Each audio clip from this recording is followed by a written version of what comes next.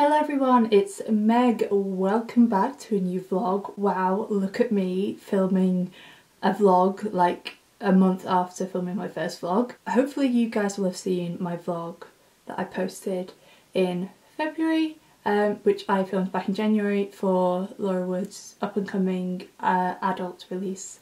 That was fun. I spilt tea, oh for God's sake, I spilt tea all over myself, of course I did. And I've just been editing that video, I just need to go back and finish uh, a few final touches. But whilst I was doing it I was like I just really am in the mood to film another vlog. Especially because my health anxiety has been through the roof at the moment. Um, so I feel like I need a little distraction. So I just want to do like a fun chill kind of reading vlog with lifestyle. I don't know, it's just a vlog, alright? Just a vlog of whatever I want it to be. Obviously there'll be reading in it. So that is the plan. I don't know how long I'm going to do this vlog for, for however I want. So I might as well show you guys kind of the books that I'm reading at the moment. So I actually have um, quite a few books that I need to finish. I don't think I'm actually going to like read any of them in this vlog but we shall see. So the book that I'm technically reading at the moment is Friendaholic by Elizabeth Day and I have really nearly finished this. I have less than 100 pages left. I'm on page 120, uh, 324 um, so yeah I really do not have a lot left of this and I have really been enjoying it. However I'm just not in the mood for this book right now, which is annoying because I have three other books um, that I have also not finished in the past couple of months.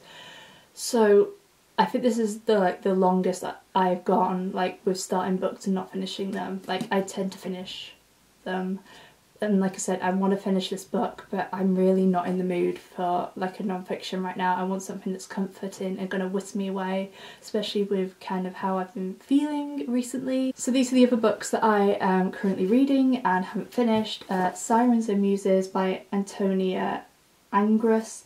I started reading this back in September when I went to Bath. I was really enjoying it, but I think I kind of burnt myself out a little bit whilst I was reading it um, fully intend to finish it. Have you seen that cover? It's stunning and I've also been annotating it quite a lot. So I'm halfway through this and then I started reading The Fair Botanist by Sara Sheridan just before New Year and I wanted to read it because I was going to New Year for Edinburgh and this is set in Edinburgh. Again, I wasn't in the mood and also I had that arc of Under Your Spell came so I dropped this, intended to pick it up, obviously didn't do that. And then I have Crumbs by Danie Stirling and I started this again before during Christmas actually. I started it on like Christmas Day or something like that and I have read most of it.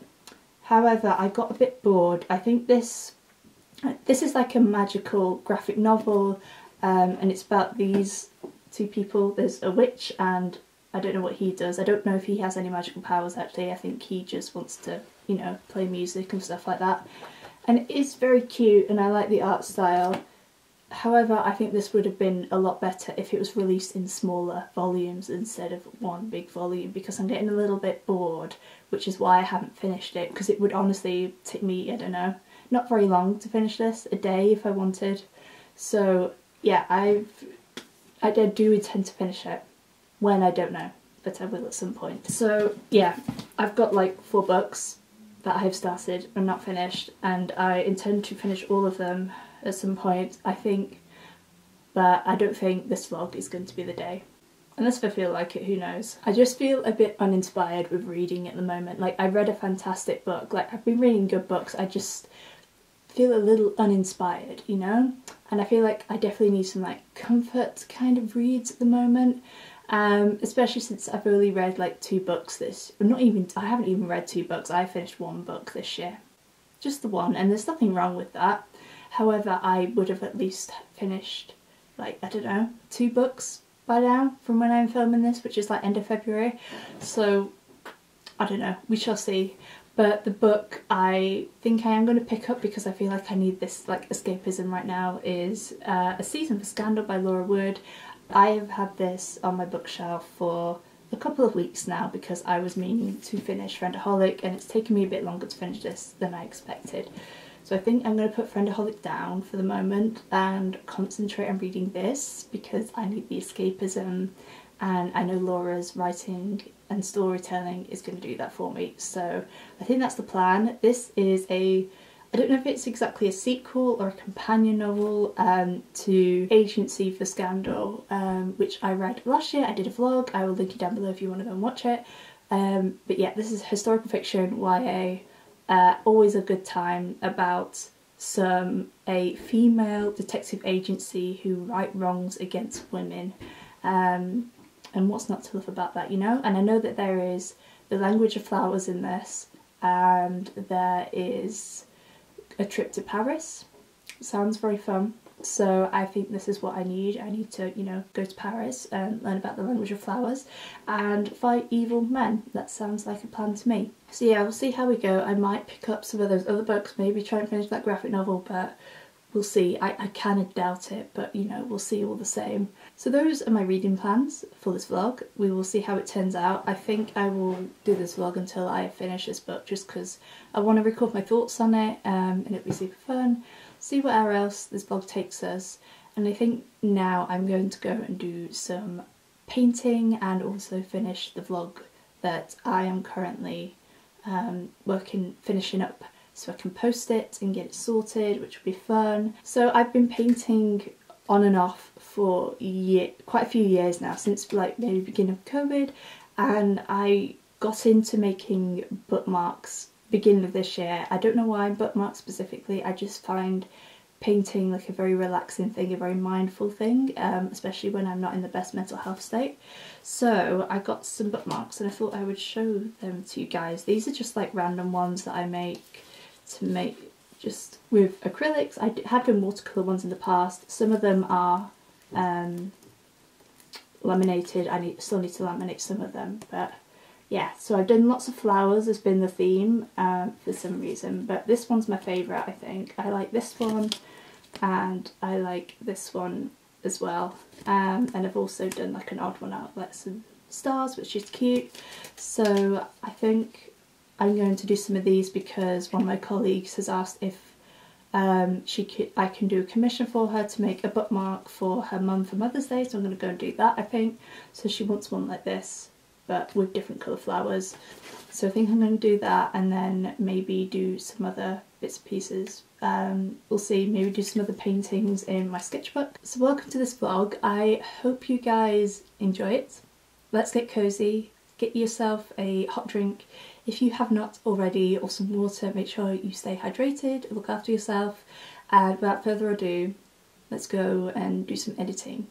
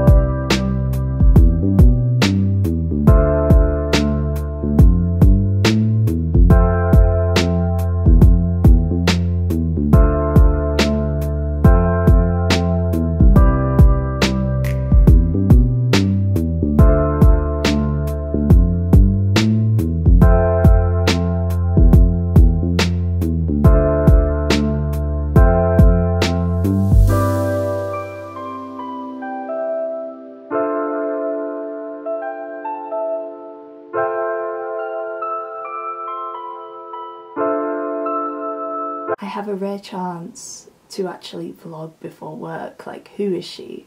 Where did she get that time from? So it's Friday now, and I have not done as much reading or as much vlogging as I was hoping to. My sister has been home uh, the past couple of days from London, so I've just been chilling with her, and me and my mum and my sister have been re-watching Anne of Green Gables, the one with Megan Follows in it that was filmed in the 80s and I love that series so much. I actually did rewatch it kind of either end of January or beginning of February but um, yeah but they were watching it again so I watched it with them and it is such like a comfort and a joyous thing to watch.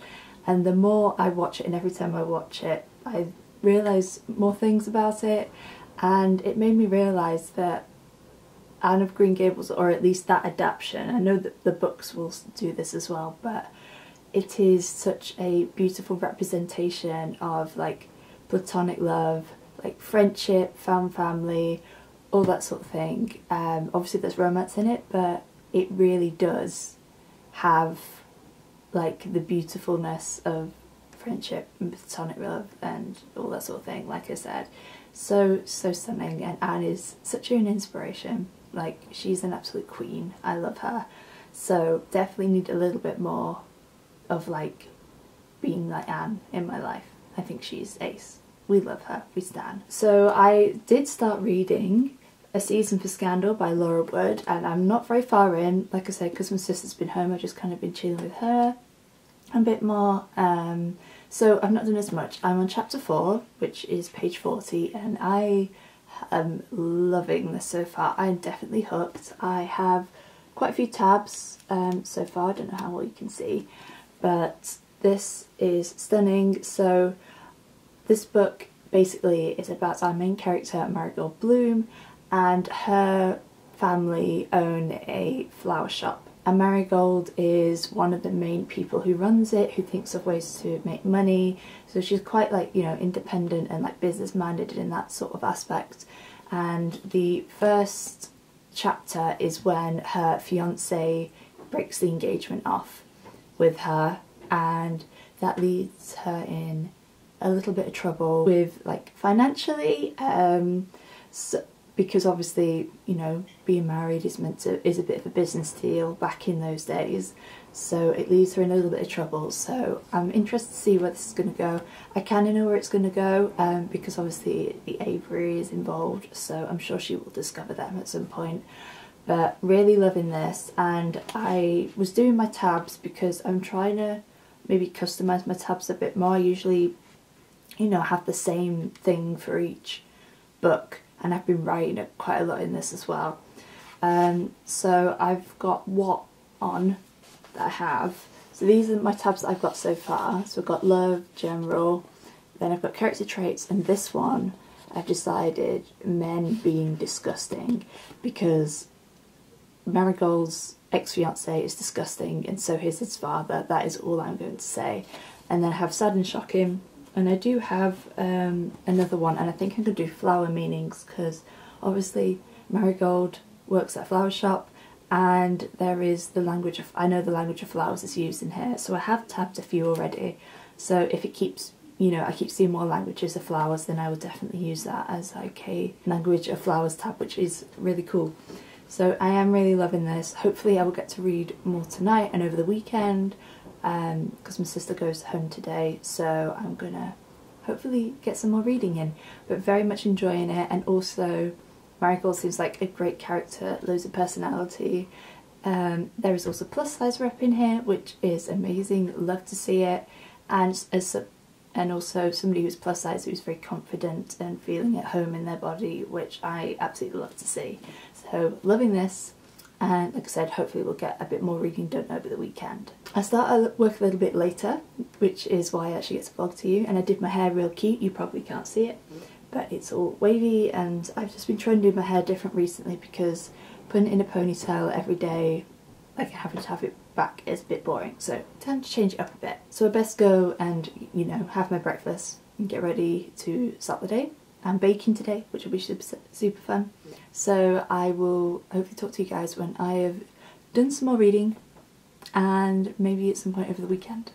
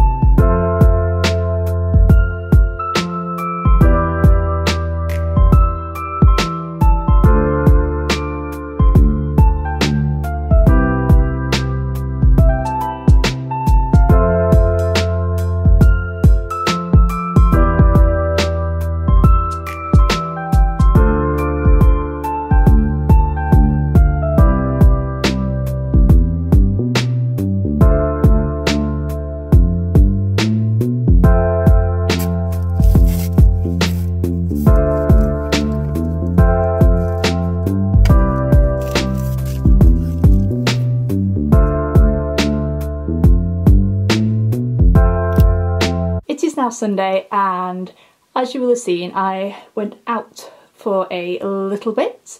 Hopefully you can see myself me through this massive hat. I absolutely adore this hat and I have not worn it enough this winter because I got myself a new coat which is quite extravagant so it's you know it's one or the other and I have been favouring the coat recently so I have been wearing this hat and I absolutely adore it. So I had to go out and get a few bits. I needed to get some more like uh, shampoo and conditioner. I got some stuff because I'm going to make lasagna for tea tonight, a new recipe that I haven't tried before.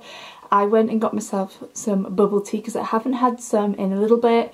I got the raspberry with passion fruit uh, bubbles, if anybody is wondering. And I did go into the bookshop because I really wanted to get my hands on the new editions of Alice Oseman's books and I'm not really one for buying multiple copies of books unless if they're special editions or maybe they're a book that I absolutely adore. However, I do really like the covers that they have redone and they came out recently. Maybe the week that I'm filming this, I think they came out. Uh, so I got two of them. They, I also wanted Radio Silence, uh, but unfortunately didn't have that. So these are the books that I got. So I got the new cover for Solitaire, which I think is actually my favourite out of all of them. Uh, I'm not girly, but really, but I do love this. It is absolutely gorgeous. And then I also got the Loveless one, which is probably one of my least favourites out of the ones that I got. I do really like it still. I love the colours. Um, but yeah, so I don't want to collect all of the books in these editions. I literally just wanted these two. I want Radio Silence and I also want to get this winter. I think that comes out later this year, maybe kind of in the autumn time, which I guess is understandable since it's a Christmas book. So yeah, I am very happy to have these. Don't really know where they're going to go on my shelf because the shelf that I would genuinely put these on is full. Um, so I don't know what I'm going to do about that. I will have to figure out some space.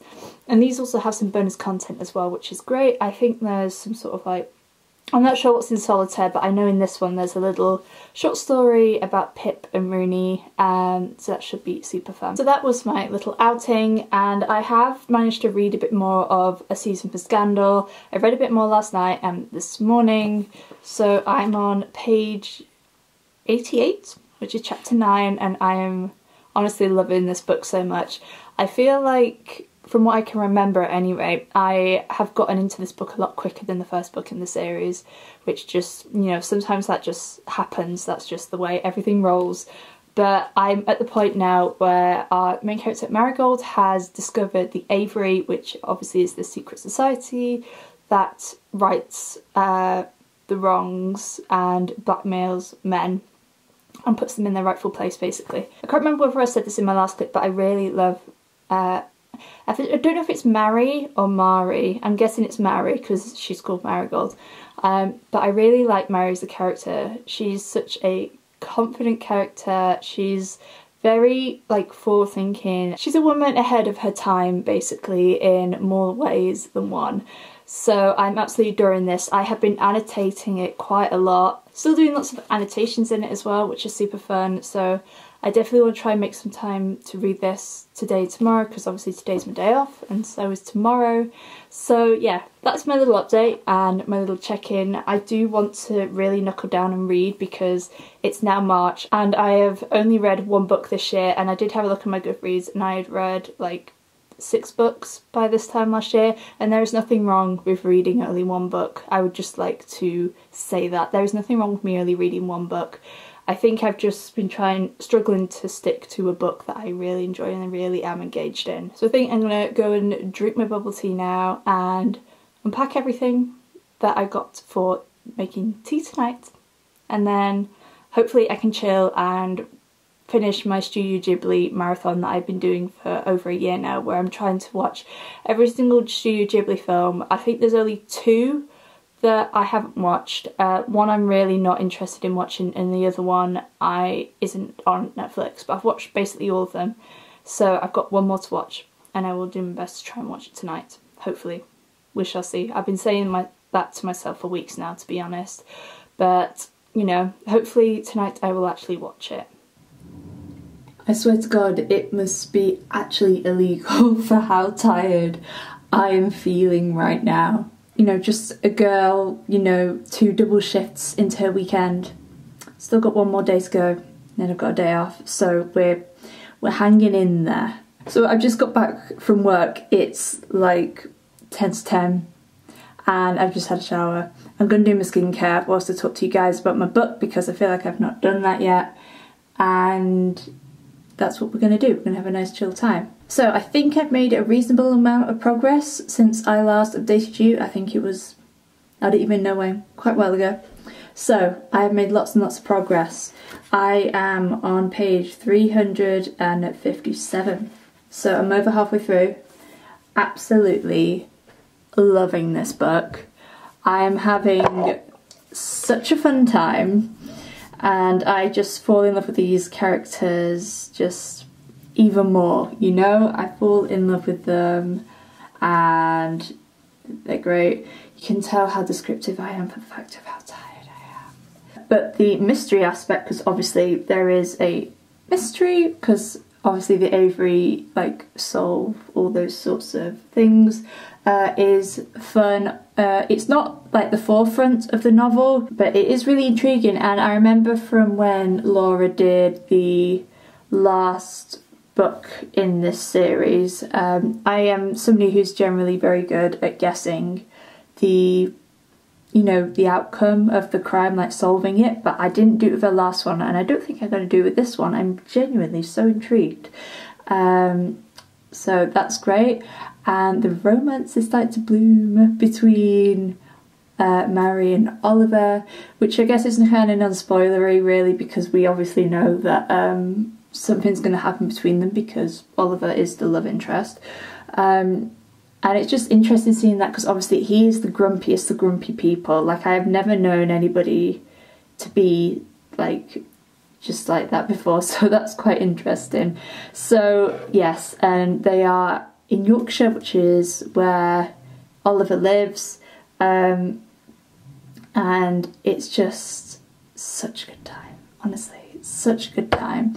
It's really interesting to know more about Oliver as well because he was in um, he was in the last book um, of the series, so it's interesting to get to know more about him and also seeing Mary kind of grow and be a part of this new job. Oh my god, I feel like my words are going. And I was thinking about this um, over this morning or yesterday. I was thinking about what the main plot of the book is, and I think for me, for all of Laura's books like this, it's basically about her characters trying to find their own way in the world. Obviously, she writes feminist um, fiction, specifically historical fiction. So it's very much obviously there's romance and they are marketed as romance, but they are definitely about these women in these times where they obviously don't have a lot of rights and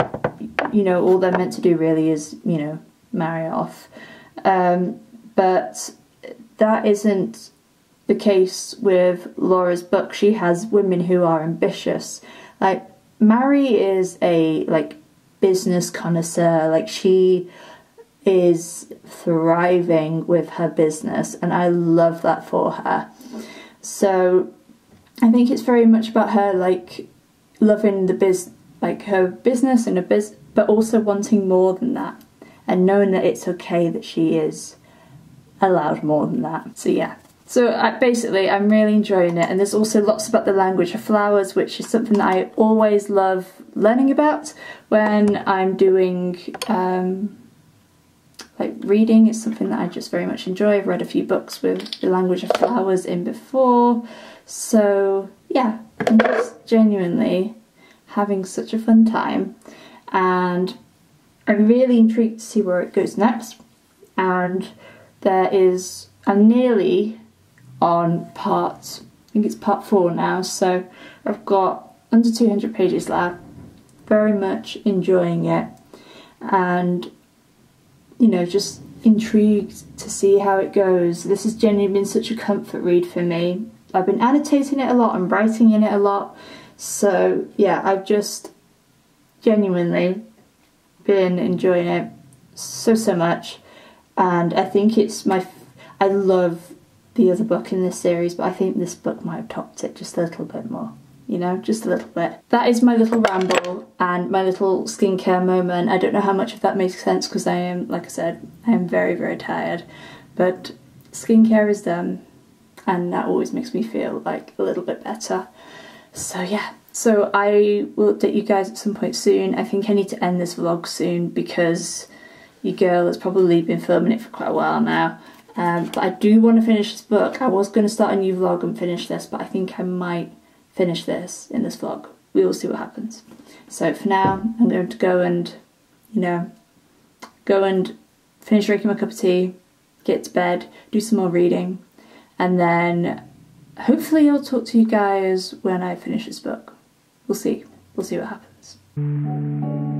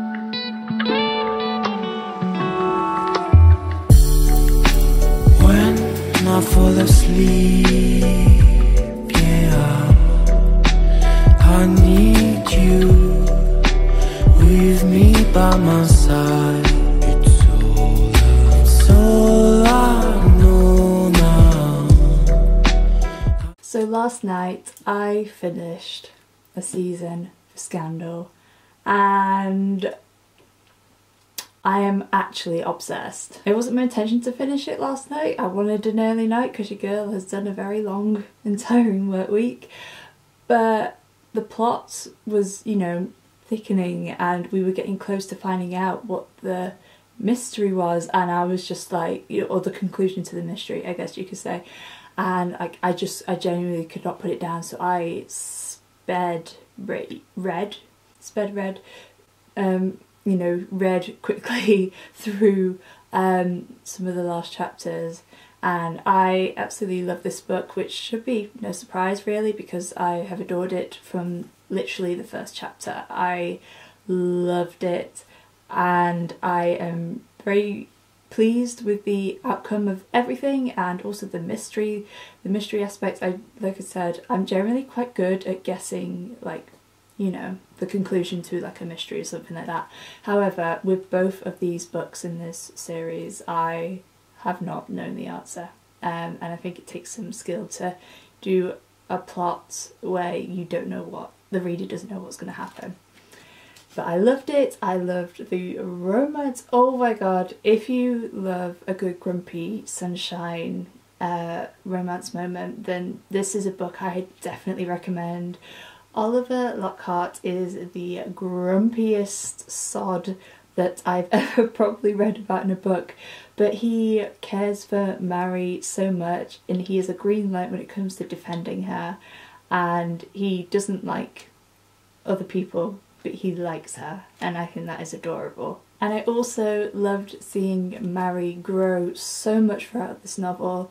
Obviously she starts it off somebody, Simon breaking her engagement off with her and she's in a little bit of trouble and obviously by the end nothing is perfect but she realises through the Aviary that she wants more. You know she's allowed to have more than just her family's shop which she loves but obviously there are restrictions with a shop like that. Uh, being in the centre of London obviously a lack of space for her to like grow things and you know expand her knowledge and things that she wants to do. There are limits.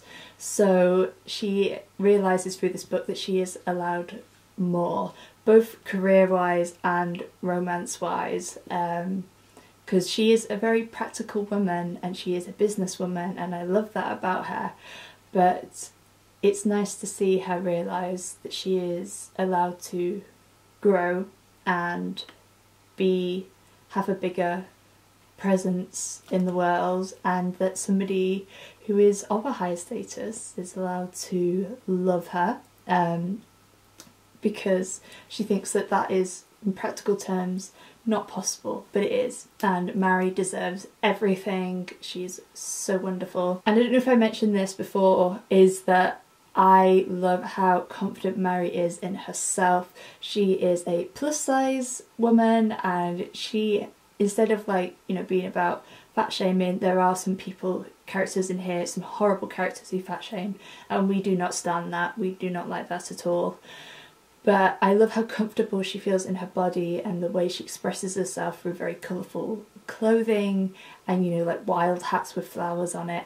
I think that is absolutely beautiful and I think she is a like a gorgeous character. I love Mary. I think she's I love all of the heroines in Laura's books but I think she does have to be one of my favourites. I do really love her. And it was fun seeing Izzy and Max in here as well, that was super fun. There was even a mention to Izzy from A Single Thread of Moonlight because these books are all kind of set in like a couple of years apart. And it was also fun seeing Mrs Finch more in this book because obviously we see her in the first book in the series, but it was fun seeing more of her and her almost being like sort of a mother-esque figure or even like a sort of maternal-esque kind of um, figure for Mary kind of during this uh, throughout the whole book from when she first discovers the Aviary. Um, and it's really fun kind of getting to know Mrs Finch a bit more because she is a mysterious woman. Like we love her. She is mysterious. You know I was thinking after I read this is that if Laura ever wants to write another book in this universe is that she should do a prequel about Mrs. Finch and how she came to set up the Aviary. I think that would be quite cool. Let me know in the comments if you think that would be a good idea as well, because I think that would be really interesting and really fun. And I also love because Oliver is such a grumpy git, like I said. Like all the Finches and those people, uh, like his staff just take the mick out of him. And I find that so funny, obviously in a fond way, but because of his bad his uh, grumpiness, they just take the mick out of him, which is so funny. I wish I had like an extra tab that I could have used to like tab all those moments because it was so funny. And look at all the tabs by the way. This is like, I haven't tabbed a book this much in a while. Can we talk about it? I actually ran out of my tabs halfway through so I had to change the colours and I still didn't quite have enough colours. But honestly absolutely obsessed and as you should have seen I put my little library stamp that I got for Christmas as well so this was obviously a five star read. Like it brought me so much joy. It's only the second book that I've read this year and I'm filming this in March and it's by the same author of the book, first book that I read this year and there's nothing wrong with either of those things. Um, but this has definitely been such a comfort, especially kind of over like the past month or so has been a bit difficult and so it's nice to have like such a comfort read and like I said, really enjoyed this. I love everything about this book, like cannot fault. So yes, I think I'm going to end this vlog here. So thank you guys so much for watching. I really hope you enjoyed this vlog. I have had a lot of fun filming it. I, I think I am going to keep up making videos for the time being, maybe just on my own terms at the moment, but maybe it'll become a more regular thing, you know? Who knows? But thank you guys so much for watching. I really hope you enjoyed this vlog. Please give it a thumbs up if you do and my social media is in the description along with my Goodreads if you'd like to follow me on there. Thank you guys so much for watching. I appreciate you so much and I will see you again very soon. Bye!